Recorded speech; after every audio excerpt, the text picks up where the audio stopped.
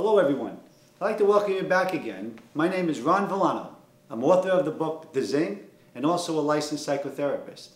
I want to discuss this, uh, one of my chapters today. The chapter is called The Light Bulb.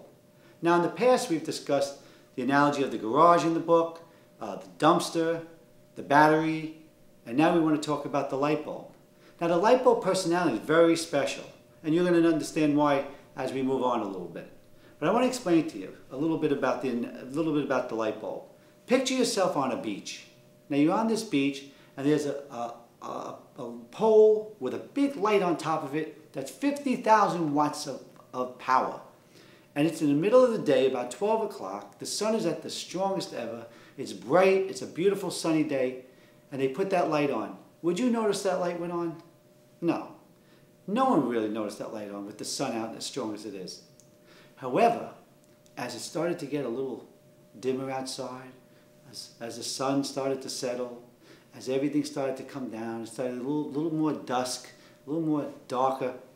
Now what happens to that 50,000 light, that 50,000 watt bulb in that light? Starts to become brighter and brighter, and when it gets pitch black, that light you can see for miles and miles and miles. Now picture that light as a light bulb person in your life.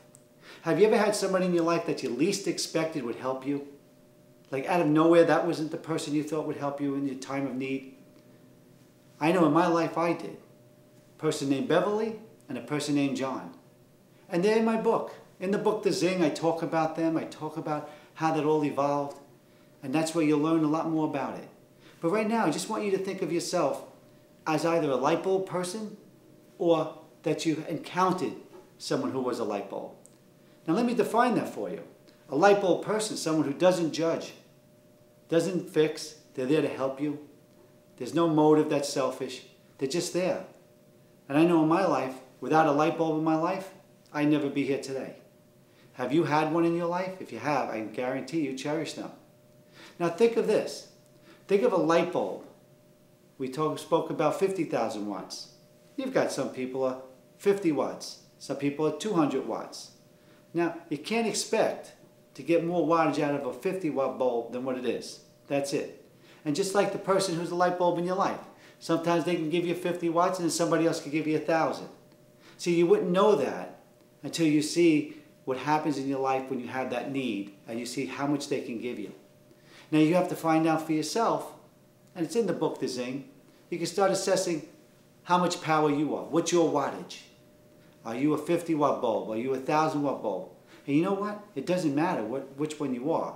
All that matters is that you know that you can be a light bulb person or that you have one in your life. And at the same time, think about this. If you're a 50 watt bulb and you're giving 50 watts, to me that's better than a 1000 watt bulb giving 500 because you're giving everything you have. And when somebody gives you everything they have, that means they're doing it because they choose to. That means they want to help you. They want to be there for you. And you know, some people like that are the people in this world that make up all the good. And I happen to think that our world is full of more good than negativity. And I think there's a lot of light bulb people out there. You haven't spotted them yet, and maybe that's a good thing because you haven't had the need. Or maybe you haven't become that light bulb person because you haven't had somebody in your life that you had to go and help as of yet. But when that time comes, you'll remember this whole analogy of a light bulb. The personality of a light bulb is just a person that no negative motive and cares and wants to help. Now I want to say this to you. All the previous stuff we've done, we've done analogy on the garage, the chapter the dumpster, the chapter the battery, and now the light bulb. I'm going to give you a little bit of each in each one of these segments. And you can go back and see and view any one you want at any time you want to.